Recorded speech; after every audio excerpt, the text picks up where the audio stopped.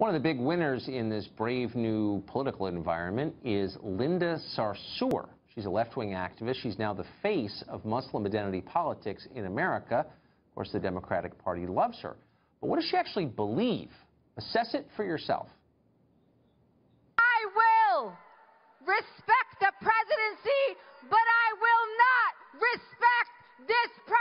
Our number one and top priority is to protect and defend our communities. It is not to assimilate and to please any other people in authority. I hope that we, when we stand up to those who oppress our communities, that Allah accepts from us that as a form of jihad, that we are struggling against tyrants and rulers, not only abroad in the Middle East or in the other side of the world, but here in these United States of America where you have fascists and white supremacists and Islamophobes reigning in the White House arguing against assimilation. Why can't Democrats find a Muslim mascot who is not a total extremist? They probably could if they tried.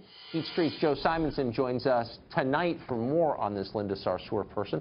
Joe, thanks a lot for coming on. Who thanks, is Tucker. she exactly, and is it fair to call her an extremist? Yeah, no, absolutely. Uh, Linda Sarsour is um, makes Muslims in the Middle East look moderate. Um, she is an extremist uh, in the fact that she believes in Sharia law. Um, she recently used the word jihad um, to explain her uh, personal inner war with the president. Um, she is absolutely an extremist. Um, she has taken a leadership position in the so-called leftist uh, resistance to President Trump. And um, she's certainly outside the mainstream of, uh, I think, American ideals, and I would even say the average American Muslim's ideals. Well, if she's for Sharia law, law, for sure, but that seems like it would set her at odds with mainstream feminism, which is, at least purports to be about empowering women. Sharia law is, you know, a non-Western code that really circumscribes their choices. So, like, how does that work? How are feminists for Sharia law? Absolutely. I mean, uh, leftist feminists definitely have a difficult balancing act to play here. Uh, I think they really like having um, a token minority, and when she starts speaking about um, what Sharia law is, they kind of just turn off their ears, and yet, but then they can say, well, we have this woman, this Palestinian activist, and it's so great, and oh, well, just don't listen to what it actually means to uh, live in a country that uh, has Sharia law. Yeah, I mean, it seems like most people, most feminists would be adamantly right, against terrifying. that. Is it fair to say that she has ties to mainstream Democratic politicians, elected Democrats? A absolutely. I mean, not a single mainstream Democratic um, politician has certainly denounced her. She was one of the uh, people at the front of the so-called Women's March um, after Trump was inaugurated.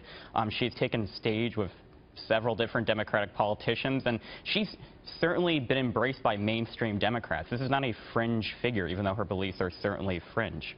Huh. Where is she on Israel?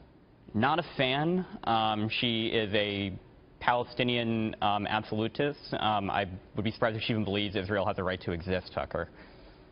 So does nobody say anything about this in the Democratic Party? I mean, it used to be, and by used to be, I mean like 18 months ago, someone like this would get some pushback in the Democratic Party. Does she? Right, absolutely. I mean, I think everyone that would criticize someone like Linda Sarsour has been driven outside of the Democratic Party. I mean, I think this is reflected in the fact that Democrats have a really hard time losing elections. Now, what I don't understand, and it's what you mentioned earlier, is that there are millions of Muslim Americans in this country that are good people, Tucker, people who assimilated, people who go to school, have normal jobs, um, who don't uh, preach Sharia law. And I don't understand why Democrats don't talk to one of these people to kind of talk about Islam. You'd think. You, I you mean, would.